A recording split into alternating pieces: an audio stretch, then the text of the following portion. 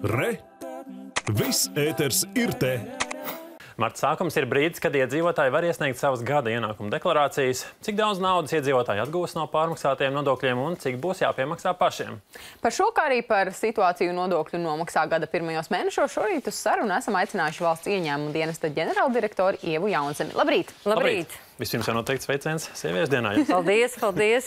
Jā, nu, 1. marta nedēļa ir aizvadīta, un uh, parasti iedzīvotāji uzstāda ar vien jaunus rekordus, steidz uh, iesniegt gada ienākumu deklarācijas ar 1. martu. Kāda situācija šogad? Šogad, protams, ir izcila. Es gribētu teikt, ka valsts ieņēmuma dienesta sistēma strādā ļoti labi. Ja?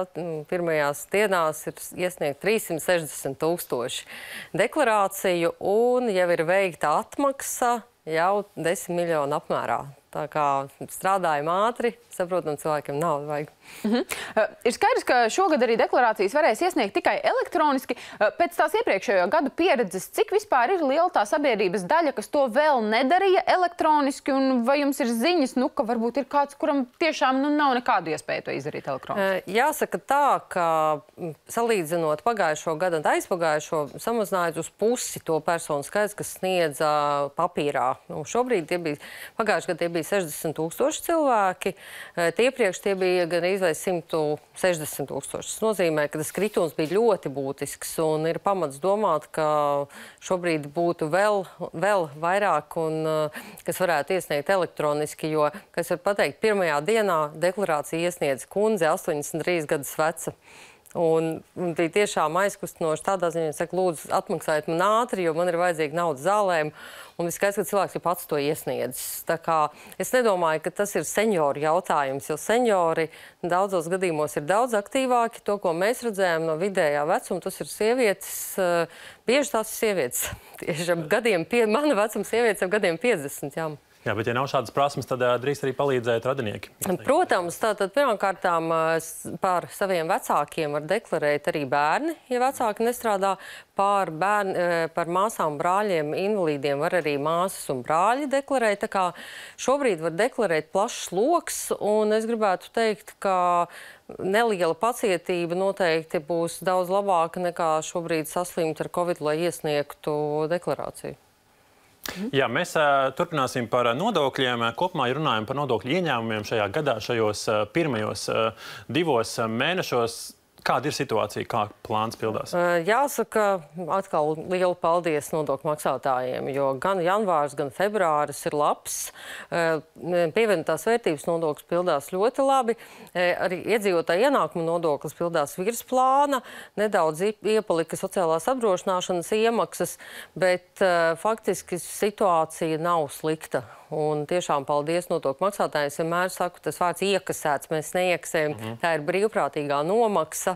Un ne, to, ko paši uzņēmējs deklarē un arī iemaksā, nu jau šobrīd vienotajā kontā. Vai var kādas prognozes par turpmākajiem mēnešiem izdarīt? Arī? Es neprognozēšu, es ceru, ka tās tendences, jo mēs analizējam tieši tos maksājumus un skatāmies, mēs neredzam, ka mūsu eksportējošajās nozarēs rodas kādas problēmas, es ļoti ceru, ka tā arī turpināsies, ka būs, būs iespēja maksāt un būs iespēja eksportēt. Mhm. Vai kaut kādā veidā var, ir iespējams apkopot to statistiku, nu, teiksim, kad šīs um, nodokļu maksas tiek kavētas tieši Covid-19 kaut kādu radītu apstākļu dēļ, um, vai tas kaut kur atsevišķi uzrādās? E, jā, ir tātad iespēja saņemt nodokļu e, samaksas termiņu pagarinājumu sakarā ar Covid uz trīs gadiem. Tur mēs arī redzam, ka divas trešdaļas no šiem pagarinājumiem, kas ir saņemti, ir Covid dēļ.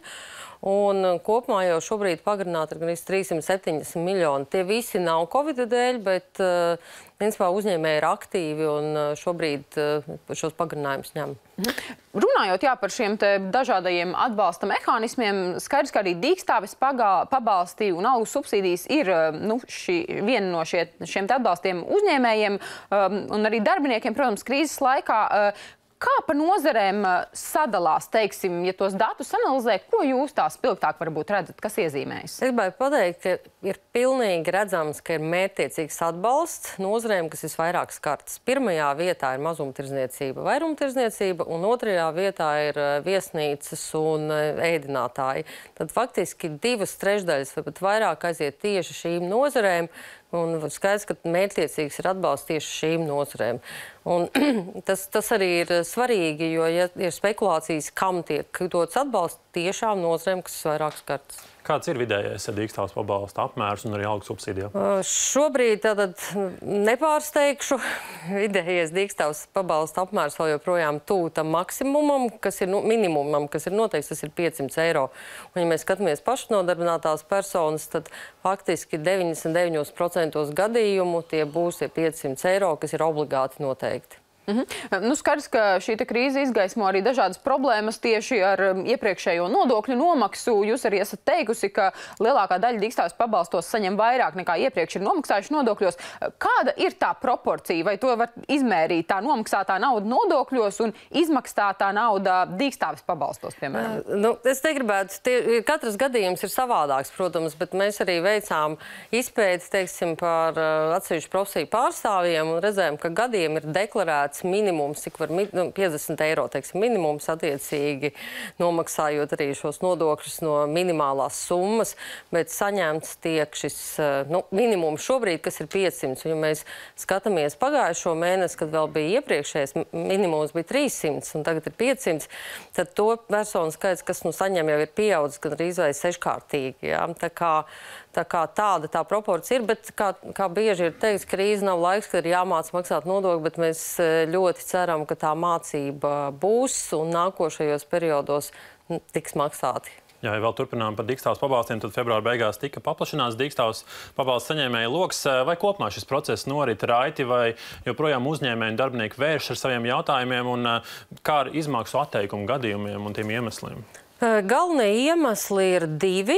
Pirmais ir, ka nav bijuši ienākumi šajos mēnešos, kas ir augusts, septembris, oktobris, jo ir pieņemts lēmums ministra kabineta līmenī, ka tātad tie, kas atjaunoja darbību, tad tie arī saņem.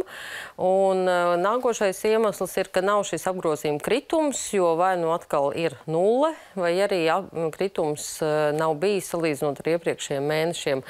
Pārējie visi iemesli, jo faktiski nav jau kritērija. Visi, kas piesakās, var, var pretendēt, un tie ir divi galvenie iemesli, kas, kas kvalificē vai nekvalificē. -hmm. Vēl viena aktuāla tēma, mūžīgi aktuāla par eh, cigarešu kontrabandu. Pagājušā gada dati rādīja, ka cigarešu kontrabandas apjoms nemazinās. Kāda ir eh, jaunākā informācija par janvāri, februāri? Varbūt arī jau ir apkopots, un šobrīd no kurienes visvairāk turpina tās cigaretes ienākt, vai tā joprojām ir Baltkrievija? Tā vēl joprojām ir Baltkrievija. Kopumā es pateikt, nav neviena diena, kad nebūtu. Ja, ja mēs skaitām, ka bija janvārī, februārī bija gan arī 60 dienas, tad ir divas, trīs reizes dienā Mēs arī konstatējam kopā gandrīz 13 miljonu cigarešu. Pagājušajā gadā bija 70, jau šobrīd 13, un zaudējumi ir ap 2 miljoniem eiro. Faktiski nav neviena diena, kad ne, ne, nav bijis šāds mēģinājums. Tās kontrabandu schēmas mainās? Es domāju, ka ne, ne pārāk, diezgan nu, skatoties, cik dziļi ieroka tajā šķeldā. Ja. Nu, ir dažādi, ja, ir dažādi. Ir rafinētāki, ir mazāk rafinēti, bet principā tā metode ar to, ka ierokam šķeldā, ja, bija pēdējais divi metri, ja, un tad un, vai arī mēģina iejaukt šķeldā, vai arī Nu, ir arī, protams, šoferi, kas vairāk nodarbojas ar tādu pašdarbību, kas savu visu kabīni apliek ar uh, cigaretēm. Un, bet ievērojot to, ka mūsu pārbaužu rezultatīvitāte ar vienu pieaug, tad, uh, jā, tad arī tie panākumi ir. Bet es nedomāju, ka, ka viņi metīs roku kādreiz. Jā, nu tā tad bija muitniekiem darba pilns rokas. Darba pilns rokas un lāpstas rokā jātur. Jā, par citu tēmu publiskajā telpā izskanējusi informācija, ka valsts ieņēmuma dienas iekšējās eh, drošības pārvaldē sākts krimināla process pret uh, vidu darbinieku Ivaru Arsmenieku par neizpaužamu ziņu izpaušanu. Kāds jūsu komentārs par šo uzsākto procesu? Mm, es gribētu teikt, ka tas ka ir nonākuši informācija, var būtiski ietekmēt vienu ļoti, ļoti svarīgu un būtisku triecienu kriminālajai pasaulē. Tādēļ man būtu jāuzdod jautājumu konkrētiem izplatītājiem, vai viņi ir ar tiem, kas vēlas apkarot kriminā, šo kriminālo vidi, vai arī viņu atbalstīt. Jo šajā gadījumā šāda noplūde dod signālu vai dod precīzāk informāciju par tiem notikumiem, kas ir notikuši. Es esmu pārdabījis, tā informācija nenāk no valsts ieņēmuma dienesta. Jautājums, kurš viņu ir nopludinājis un ar kādu mērķi, jo trieciens kriminālajai pasaulē ir dots ļoti būtisks. Tīri par, par to ikdienas praksi, par šādiem gadījumiem, kāda ir tā kontrole, lai iekšēji to novērstu, teiksim, šādus gadījumus, nu, kā jūs arī sakāt, lai jūs būtu droši, ka no vida tāda informācija nevar noplūst? Jā, tādēļ ir iekšējās drošības pārvalde, tā ir vidi iekšējā struktūra vienība, padot man. Un, protams, lai atklātu šādu gadījumu, tas nav tā uzreiz atnāk un tur notiek. Ir, tas ir salīdzinoši ilgs darbs, tāpēc man ir ļoti nepatīkami redzēt, ka kaut kādā darba posmā posmā, kas vēl nav pabeigts, šāda informācija ir nopludināta, jo tas apdraud turpmāk vairāk šos noziedzniekus arī aizturēt. Jo skaidrs, ka informācija nonākot kriminālajā pasaulē tiek izmantota tajās interesēs. Tādēļ eh, es vēlu veiksmi tikai iekš, mūsu pašu iekšējās drošības pārvaldē, kuras tiešais uzdevums tas ir. Un es varu tikai pateikt, mums izstrādē ir neviens vien process, bet tas ir svarīgi ir atrast galveno vainīgo un uztvert maksimāli daudz no iesaistītiem. Un tas ir mūsu darba uzdevums. Cik ir šādi procesi iestādē? Uh, Procesu ir ne tikai iestādē, jā, es šobrīd precīzi nenosaušu, cik, nu viņi ir vismaz desmit, ja tā, vismaz desmit, jo man nav milzīga šī pārvalde, jā, pārvaldē nestrādā simtiem cilvēku, bet uh, vismaz desmit šobrīd ir, un, uh, protams, ka šādas ziņas jūs dzirdēsiet, jo tas ir obligāts priekšnosacījums, lai mūsu sabiedrība dzīvotu drošāk. Man iekšējā drošības pārvaldē jāstrādā uz to.